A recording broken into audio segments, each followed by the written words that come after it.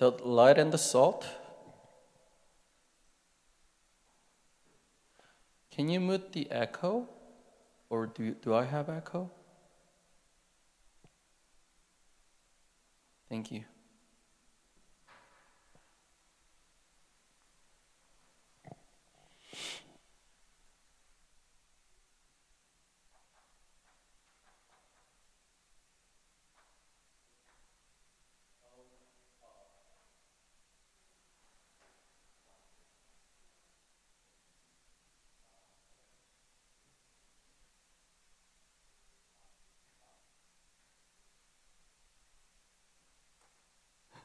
Okay. Oh.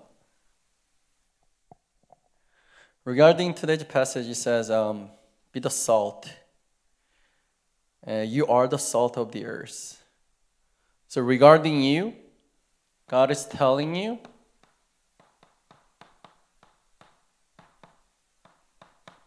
don't lose your taste. If you're losing taste, there's no hope in the earth. So, don't lose your taste. Regarding your family, since you are the salt and you are the light, give the light to the house. Regarding others around you, let them see you. See you and your good works and give glory to the Father. So today's passage is literally talking about you, your family, and others. Now that this is what we're facing in these days uh, as we live, it's my life and my life with the family, my life with others. And what is God telling us in this pandemic situation, in this, um, in this, uh, in this time? What is God telling me regarding you? Don't lose your taste because you are the salt, and give the light to your family and others. Let them see the good works in you. So the today, Pastor Zhang says, regarding you, as you, as you don't lose your taste, he says this Matthew chapter 5, 40, 5 48, regarding you, be, fir- be perfect as the Father in heaven is perfect. So, how can we be perfect? Can we be perfect within our own strengths? We cannot. But now Jesus is telling us be perfect as the Father in heaven is perfect. This is His desire. So today, instead of we trying to be perfect, why now we trying to holding on to, why now we start holding on to the covenant, what He desires towards us. So Jesus desire us to be perfect. We're not asking Him, can we make us perfect? He desire us. So this is his desire, His will that He wants us to be perfect as the Father in heaven. So, holding on to the covenant may be the first step for us to follow His desire.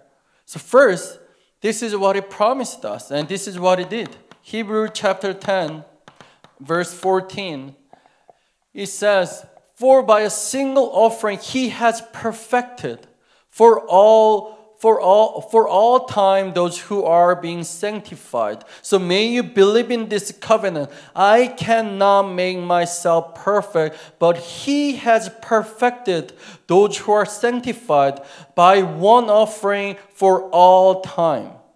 Do you guys believe in Christ?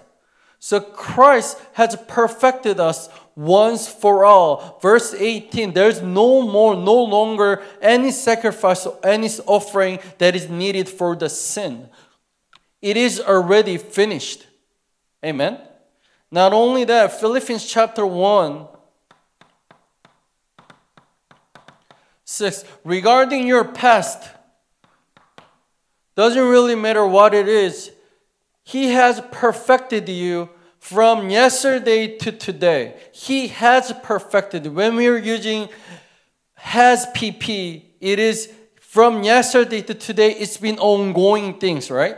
So it's been done and it is working that He is perfected you for all time. And regarding your future, Philippians chapter 1 6, and I am sure of this, that He who began a good work in you will bring it to completion at the day of Jesus Christ. Even regarding your future, He will bring it to completion at the at at the at the day of Jesus Christ, at the day of Jesus Christ. The, the one who began a good work will bring at the day of Jesus Christ, will bring the completion. So, regarding your future and past and future, it is Christ who is the answer for the covenant God has given us. I desire you to be perfect as the Father in heaven is perfect. So I will be the way for you to be perfect. So I will give myself as an offering, as a sacrifice. This one single offering has perfected you for all time for those who are sanctified. And me who began my good work in you will bring completion to the day of Jesus Christ. And this is how blessed we are. When everyone's saying we are so cursed, we are in this situation, we don't really know how to live anymore. He says, I have perfected you, that I will bring the completion. And we are in Romans chapter 8, verse 29 to 28, uh, 29 to 30. We are in His absolute sovereignty. This pandemic and this coronavirus was not out of God's plan, it is in God's plan. So we are in His plan. He said He foreknew, for those He foreknew, He call, He predestined. For those who pre, He predestined, He called. For those He called, He justified. For those He justified, He glorified. So our past and future and present, the problem, whatever we were facing, whatever we will face, whatever we are facing, it's been already dealt in Christ. And it's been already solved. Yesterday, you know, I told you guys, did I tell you guys? I want to prove coronavirus cannot block evangelism. I really wanted to prove that. And I really wanted that since if it is God's plan that God has, what does God want us to really hold on to? You know what the, you know what's happening when the salt and the light is dark and the salt is losing its taste? That's when disaster come. You should realize this. When Israel's, whenever Israel's losing the hold of a mission, hold of evangelism, hold of the kingdom of God, the disaster would come upon them. So Jesus would scatter all the Israel. God would scatter all his people all around the world to bring his name to whole nation. Do we still hold on to ourselves or do we hold on to Christ alone? He wants us, don't let him scatter us all around the world, yet we hold on to His covenant and we carry out His desire and make it as our desire too. Don't evangelize unintentionally without your will. Why not put yourself in the stream of the covenant with your will in His covenant? And let it be my covenant. So do not lose your taste. How? Hold on to Christ. Let Him be my covenant. Let Him be my desire. God, I want to be perfect, but I cannot. So why not can you do that for me? So what is God doing right now? According to Matthew 5, chapter 3 to 8, 3 to 12, now that this is what He's doing to us, blessed are the poor in spirit. He's making us very poor in the spirit. Don't you see yourself? And He's making us mourn, for they shall be comforted that He's making us mourn for others, mourn for ourselves, mourn for our family, so that we are comforted. And He's making us meek, for they shall inherit the earth. We shall inherit the earth, so He's making us meek. Whatever you were building for what? For how long, how many years you were building because of this pandemic, because of this problem, disaster, people now are facing crumbling and destruction every single day.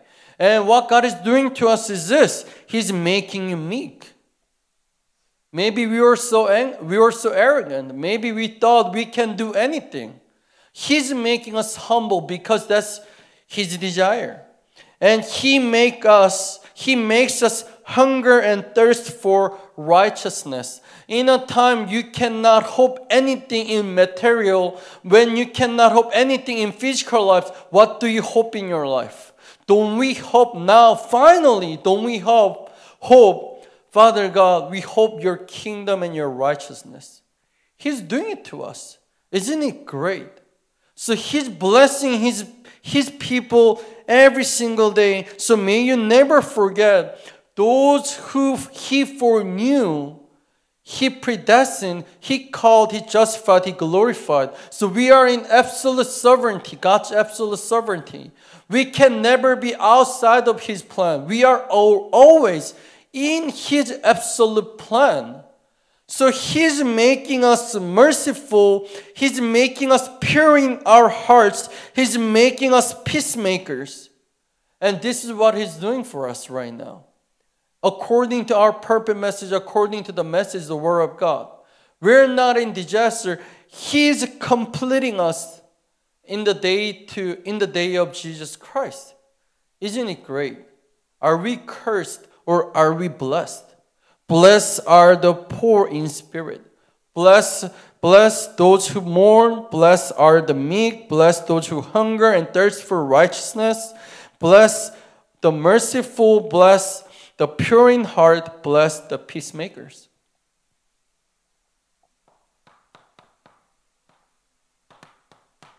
Regarding your family, today Matthew chapter 5 verse 13 to 16 it says, give the light to your family.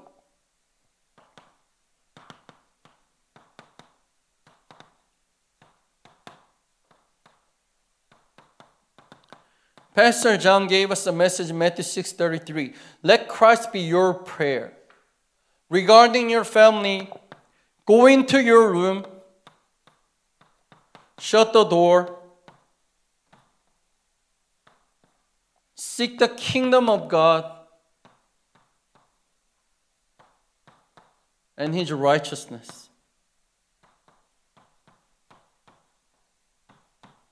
Now that we all, uh, uh, we all spend our time with our family, most likely, right?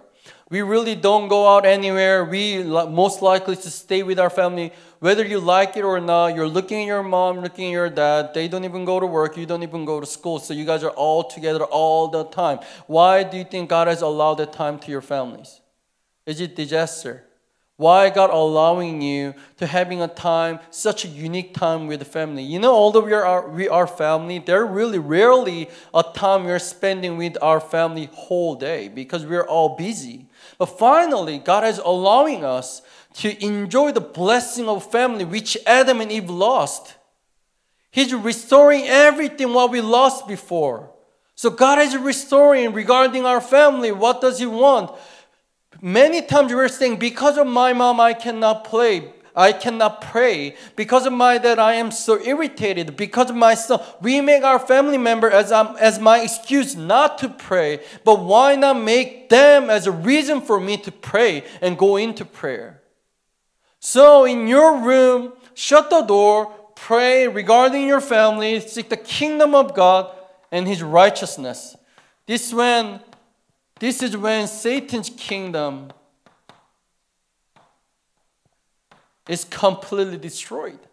The one who brings quarrel to your family, the one who brings division to your family, the one who brings fight to your family, the one who brings destruction to your family. Now it's time for us to break the force of darkness that has been working on our family for so long. Right? This is what I'm doing with my family too. It is our time to give the light to my family. We were so busy to caught up with our own lives, our own business. Although they're my family, we didn't really care. That's what, what Adam and Eve did. You know, when Eve were tempted, Adam was right next to Eve. But why don't you think Adam stopped Eve eating the forbidden fruit? I believe it's because Adam was too busy with his own life, although he was right next to Eve. He lost his wife. God is restoring the blessing of family right now at this uh, through this blessed time. So be ready as an evangelist to save yourself and to save your family. Really, families are the members to be saved. They're given to you. And make them as a disciple of Christ. Make this as opportunity for us to save our family. Now, it's not only the United States that stopped, that's shutting down there, it's whole nation that are shutting down. I just read the news. People in New York, you can see the corpse everywhere.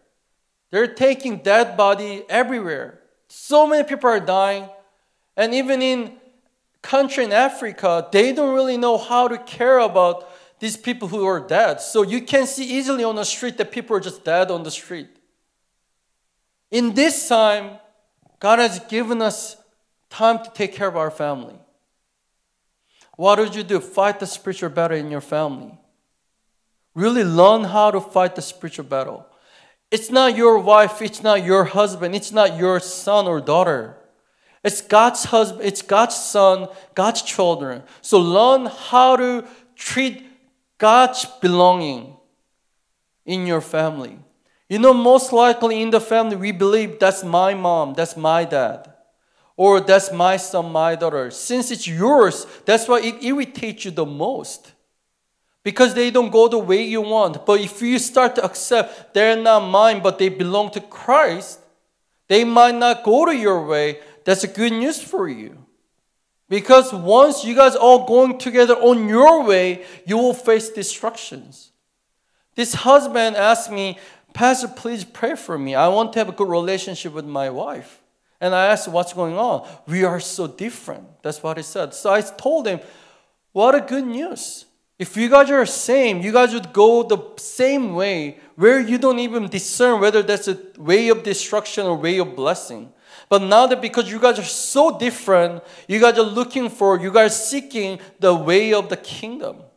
Isn't that great? So in your family, go to your room, find a spot, shut the door, shut your anger, shut your irritation, shut all the fight, and pray and seek the kingdom of God. Let the Satan's kingdom crumbled before your prayer. That's been promised. Matthew chapter what? 12, 28 to 29. What does it say? If by the Spirit of God, if you cast out the demon, the kingdom of God has come already upon you. If you want to plunder the strong man's house, bind the strong man, so then you'll be able to plunder his house. So bind the strong man in your family, break all the force of darkness. Don't lose your taste, give the light to your family regarding others around you.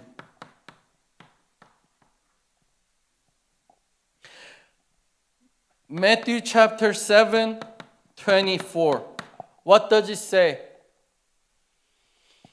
Everyone then who hears these words of mine and do and will do them, I mean will uh, endures, endures them will be like a wise man yeah, that's my eyesight. I have like minus 10 eyesight. Uh, my glasses is fake, so I can read it.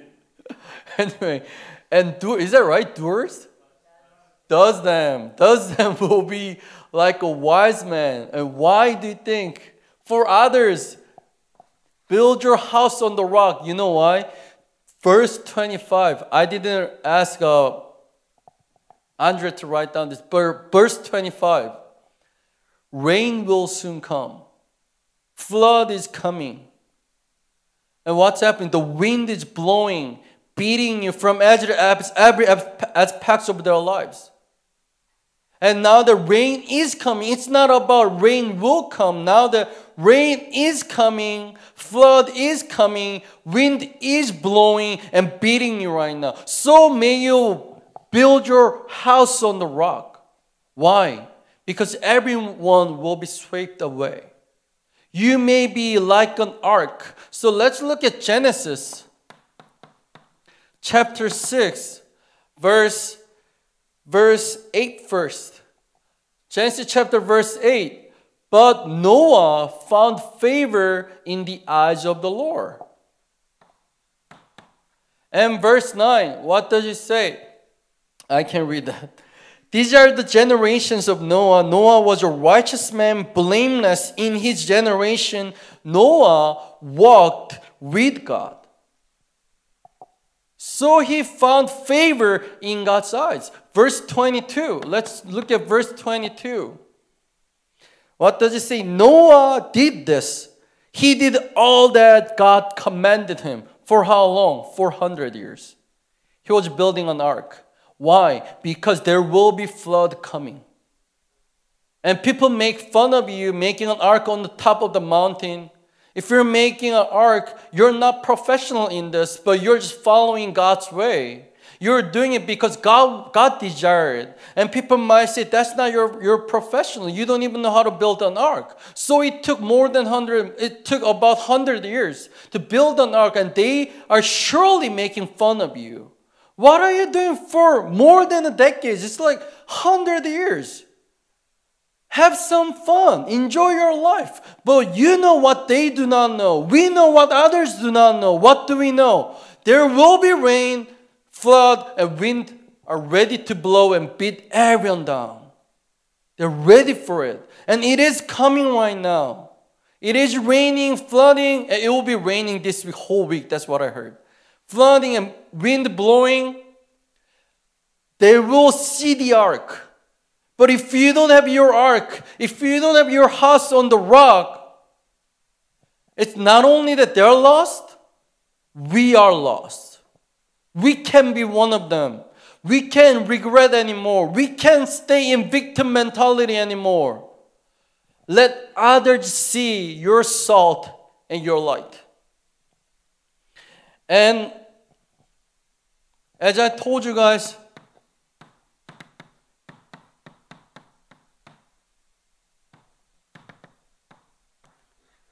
this is what they're facing financially, mentally, physically, spiritually.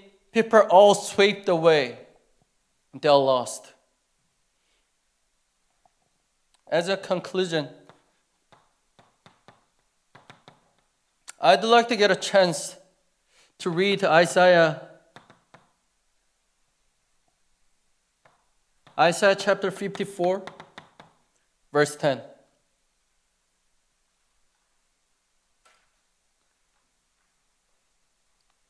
For the mountains may depart, and the hills be removed, but my steadfast love shall not be depart from you, and my covenant of peace shall not be removed says the Lord, who has compassion on you. God has compassion on his people. And now he's saying this the mountains may depart, hills removed. What does that mean?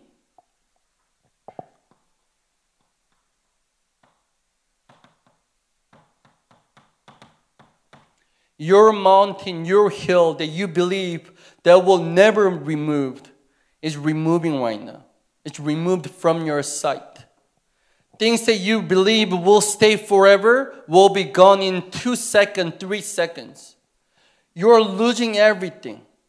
Today, even today, I heard one of our church member, he told me his company fired 2,000 people. It's happening all around the world. It's just 2,000 employees, right? Think about their family. 2,000 people have their family. Each one has their own family. How many people can we expect? This is what we are facing. The mountains you believe that will stay forever, the hill you believe that will protect you forever is removed, is departing from your sight. So, where should we build our life? His steadfast love and His covenant of peace will never be removed, shall not be removed, says the Lord, who has, He's the only one who has true compassion on you. Steadfast, if you, uh, if you write down steadfast in Google, this is what it says. Steadfast means firmly fixed in place, immovable. That's a steadfast love. Immovable love is firmly fixed in you. and it is a covenant of peace shall not be removed. Then what's the contents of the steadfast love? What's the contents of this covenant of peace?